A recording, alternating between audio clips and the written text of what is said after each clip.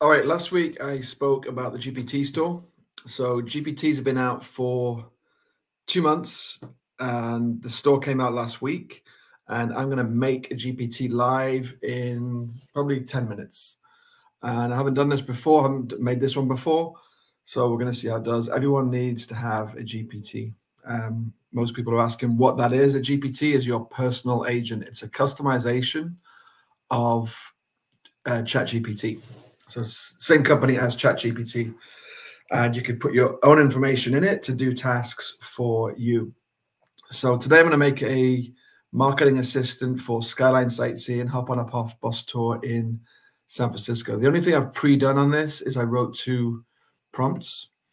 So this first one is just because I'm not very quick at typing, and I'm going to take this. So basically, I'm telling ChatGPT so normally I'd feed in my actual information into ChatGPT. I'm to tell it what kind of company I am, what kind of target market, uh, kind of company culture, this kind of thing, because I want to make a custom marketing assistant for, for this company. But I haven't done that. I've asked ChatGPT to create this background information. So it's now creating, based on a perfect company, this best background information. So it's creating the tone, the company culture, my sustainability policy that it's made up, that we're customer centric. It's assuming we are the best of everything, and it's creating that in the background. I'm going to use that in a second. So, obviously, you'd use your own information for that based on your brand and your own company culture, etc. So now I go to ChatGPT homepage, and I go to Explore GPTs over here, and these are the other GPTs which other people have created which you can use. So you're basically making your own GPT for your own use. If you want, you can share that with others. This example I'm doing today wouldn't be the kind of thing you'd share except with your own staff. But these are all things that other people have made. They do very similar things to the one I'm going to create now. So um, you, you can find a million marketing assistants on this, um, but they won't have your customer information in. So what are we going to make? We're going to make a marketing assistant. So that's all I'm going to tell it. And it's going to ask me some information. So it's building now a profile of the GPT. It's asking me what it's going to do, really top line. It's created, created a name, Marketing Mate. It's a terrible name, but let's go with it. Market Mate. Kind of an English name. It doesn't know English, but there you go. So now it's going to create a, uh, what's it going to do next? It's thinking. Not that much to think about, but it's going to generate a profile picture. This is just a nice little thing. It creates a little favicon. And I think it makes people feel good that they're kind of building something a bit more complex than just a text engine. So there you go. Some cogs, light bulb, um, things moving, looks good.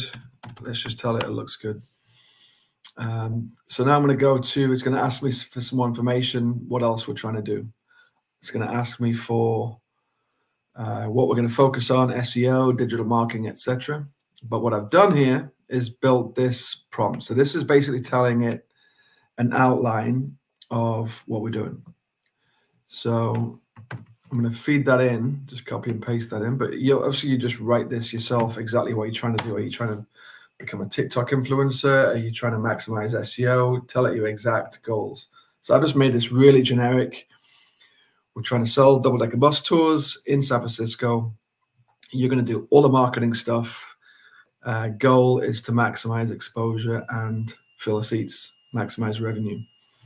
So now it's asking us some more clarifications. Um,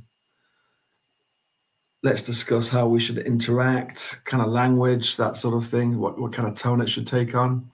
But actually, what I want to do is give it all this background information. So I'm going to go back to where we created this information up here on ChatGPT.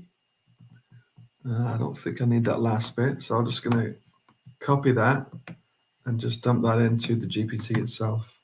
So now just giving it all the background company information, not really what I asked for, but it doesn't matter. I'm just feeding it stuff right now. So it's now taking that text, it's converting it to a format which it can which it can read, which is a vector thing. It's converting it to numbers, basically making it super fast for it to read back in the future. So it's taking all that into account and it's asking if we want to be um, any more details, blah, blah, blah, nothing important. So we can go ahead and test this now. So you build it on the left, update it on the left, and then you you can test it live on the right. So we're we're gonna do um, create 10 IG posts lead, um, leading up to Valentine's Day. So that's all I've told it, right? So it, if you ask that in ChatGPT, it's going to ask you for who, for what, what's the target market, etc., etc. But it's learned all that on the left, so I don't have to keep feeding it that information. So it's going to create these 10 posts for me. It's doing 10 days before, a post a day. You can read those. Uh, it's telling you what kind of image to post. I can ask it again. I can ask it to um, do our images as well. And those look pretty good. Maybe they're a little bit cheesy. Maybe there's a lack of character. Maybe they're not funny enough. Maybe you're not supposed to be funny for Valentine's Day. What do I know? But there it is. Um, now let's create a blog post for a first time visitor on things to do. So now it's creating a blog post. I didn't tell it how long or how short. Normally I would tell it exactly how long I want it, but it's now to start creating the information on what to do in San Francisco. Iconic landmarks looks good. Cultural hotspots looks good. Everyone complains when I, when you make these things because it gives you generic information, and it has. It's telling you to get to go across the Golden Gate Bridge, which generic it is the best thing to do. Fisherman's Wharf, seafood, all a bit generic. But I deserved that, right? I just told it to write me a blog post for the first time visitor. That's all I gave it. If I wanted it to create some a list of places nobody else goes to, like hidden gems, it's got one in there, then I would have asked it. And actually, alleys of North Beach, really good. Um, mosaic steps at 16th Avenue, which Instagrammer doesn't like mosaic steps. Sutro Baths is one of the best things to do in San Francisco. So there's a blog post based on my company, based on me marketing that. I could probably post that today. I haven't read it in detail, obviously, and you need to read everything in detail. Um, but I, I want it to be funny. So I'm going to tell it on the left to make everything funny. ChatGPT is not very good at jokes. It'll make jokes. Um, but they're not very good. They're, they're cheesy. Some people find them probably great. So now I'm updating on the left. It's going to take that, shouldn't take that long, but it's incorporating that into everything else. Now it's going to bring a touch of humor to all the posts, blah, blah, blah. I think I need to let it finish before I ask it anything else. And yeah, so um, it's it's refreshing because it's basically a new assistant now with new information create five IG posts. And let's see if they're funny now. So obviously you, you could change if you're a serious company, if you maybe it's um, you need to be more serious about safety or something. If you're rock climbing, you, then you give it that tone and it'll tell you what you're doing. So it's telling me to make a comical illustration of a bus, rise and shine sightseeing is. It's all very jolly and happy and um, some people find this stuff funny. Maybe maybe it's maybe it's fun. I'm not going to sit and read it all. But that's now my marketing assistant. That took I don't know less than 10 minutes. I've got a timer on there. I don't know what my timer is. I think less than 10 minutes. I can now have that create blog posts all day long, Instagram posts all day long, marketing copy. Uh, tell it to create Google ads if I want. I would give it some more information for that. Have it create my product descriptions. If I give it more information for that, I would actually pro, I would actually give it all of my product descriptions. We do that in Magpie. We automatically feed all of your product descriptions into an assistant, which we built just like this.